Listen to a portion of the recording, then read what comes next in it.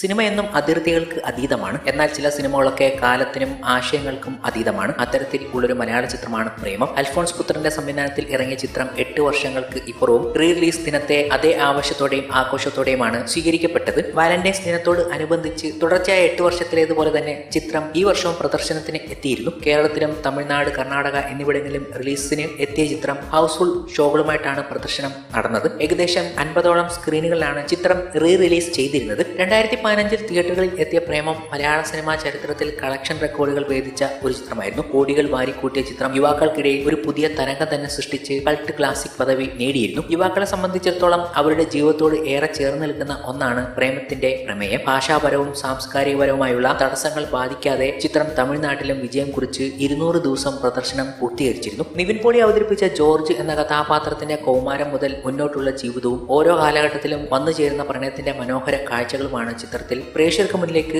അവതരിക്കപ്പെട്ടത് ഒരു കഥാപാത്രത്തിന്റെ പല കാലഘട്ടങ്ങളിലുള്ള വ്യത്യസ്തമായ ലുക്കുകളിൽ എത്തുക എന്നത് ഏതൊരു അഭിനേതാവിനെ സംബന്ധിച്ചിടത്തോളവും ഏറെ വെല്ലുവിളി നിറഞ്ഞ കാര്യമായിരുന്നു. നിവിൻ പോളിയുടെ കരിയറിലും അൽഫോൺസ് പുത്രന്റെ കരിയറിലും ഏറ്റവും മികച്ച ചിത്രം എന്ന് തന്നെ പറയാവുന്ന പ്രേമം. ഇവർ തമ്മിൽ വീണ്ടും ഒന്നിക്കണമെന്ന് ആഗ്രഹിക്കുന്നത് പോലും ഇതിലൂടെയാണ്. കൂടാതെ സായി പല്ലവി എന്ന താരം പിറന്ന ചിത്രം. ഇപ്പോഴും ഈ ചിത്രം ആഘോഷിക്കപ്പെടുന്നുണ്ട്. ഇപ്പോഴും ഈ ചിത്രത്തിന്റെ മേക്കിങ്ങിനെ കുറിച്ച് സംസാരിക്കുന്നവരുണ്ട് ഇപ്പോഴിതാ അൽഫോൺസ് പുത്രന്റെ കരിയറിൽ തന്നെ ബ്രേക്ക് ത്രൂ ആയി മാറിയ പ്രേമത്തെക്കുറിച്ച് അൽഫോൺസ് പുത്രൻ പറയുന്ന ചില വാക്കുകൾ വലിയ ശ്രദ്ധ നേടുകയാണ്. കാരണം ഈ ചിത്രത്തിന്റെ മേക്കിങ്ങിനെ കുറിച്ച് ചോദിച്ച ഒരേ ഒരു സംവിധായകനെ ഉള്ളൂ എന്നാണ് അദ്ദേഹം പറയുന്നത്. അത് ജോഷി സാർ ആയിരുന്നു. രണ്ടായിരത്തി പതിനഞ്ച് പ്രേമം റിലീസിന് ശേഷം എന്നോട് ജോഷി സാർ പ്രേമം മേക്കിംഗ് ചോദിച്ചപ്പോൾ എനിക്ക് സന്തോഷമായി. ജോഷി സാർ ഇങ്ങനെ ചോദിച്ചു മോനെ എങ്ങനെയാണ് മൂന്ന് കാലഘട്ടവും ഷൂട്ട് ചെയ്തത്? ഞാൻ പറഞ്ഞു സാർ മൂന്നും ഒരേ കാലഘട്ടത്തിന്റെ സെറ്റിൽ ഷൂട്ട് ചെയ്തു. ജോഷി സാർ ആ ഡിഫറെന്റ് ട്രീറ്റ്മെന്റ് ആണ് അതിന്റെ അഴക്. Alphonse Puthren thank you sir. Sir എങ്ങനെയാണ് number twenty Madras mail Lalettan മമ്മൂക്കെ ഉമ്മ വയ്ക്കുന്ന സീൻ എടുത്തത്. ജോഷി സാർ അത് മോഹൻലാൽ ഇട്ട ഇംപ്രൈസേഷൻ ഞാൻ അപ്രൂവ് ചെയ്തു. ഞാൻ കൂടുതലും സ്പോണ്ടേനിയസ് ആയിട്ട് വർക്ക് ചെയ്യുന്ന ആളാണ്. എനിക്ക് ലൊക്കേഷൻ വർക്ക് ആവണം. അല്ലെങ്കിൽ ആർട്ടിസ്റ്റിന്റെ പെർഫോമൻസ് എക്സൈറ്റ് ചെയ്യിക്കണം. അൽഫോൺസ് പുത്രൻ. സാർ അടുത്ത ക്വസ്റ്റ്യൻ രണ്ട് സിനിമയിലാണ് ഞാൻ തിലകൻ സാർ